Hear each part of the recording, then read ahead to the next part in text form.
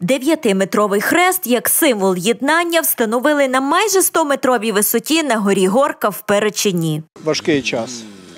Тому було прийнято і таке рішення, що все ж таки в такий період обов'язково має бути єднання, має бути якоїсь, е, ну, це все ж таки залежить на цьому світі від е, Господа Бога, не стільки від нас, щоб воно було як е, символ єднання. Перечинців, символ єднання. Ми всі однакові.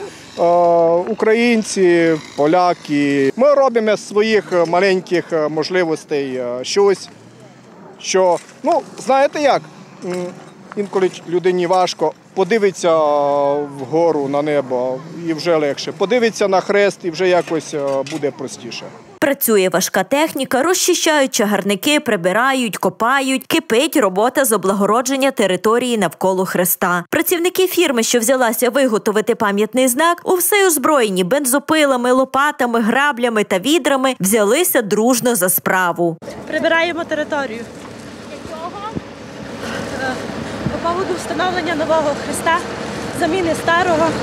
Ну, загрібаємо, пораємо коло хреста, коло кресної дороги. Дружно колективом по, зробити уборку коло хреста. На цьому місці стояв хрест 2002 року, і до цього часу через несправність конструкції його демонтували кілька днів тому. Натомість встановили новий добротний пам'ятний знак. Пан Штефан прийшов до такого висновку обов'язково переробити попередній хрест, який був трошки в такому.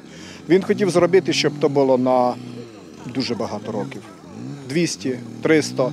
Ми розуміємо, що дуб, скорше всього, стільки не витримали, тому була зроблена така конструкція, що навіть якщо через 100-200 років серцевина почне нищитися, він зроблений повністю з 12-мм сталі, і тому просто достатньо внутрі заповнити бетоновою сумішю, наприклад, і знову буде хрест.